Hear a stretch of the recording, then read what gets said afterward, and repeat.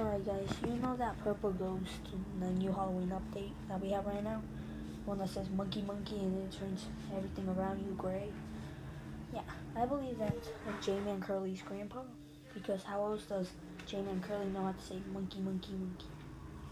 And I think that that would also mean that the purple ghost came back in the Halloween update to continue his legacy that he gave to Jmancurly of monkey monkey monkey and that's why I think that it's J-Man's grandpa because it's a tradition.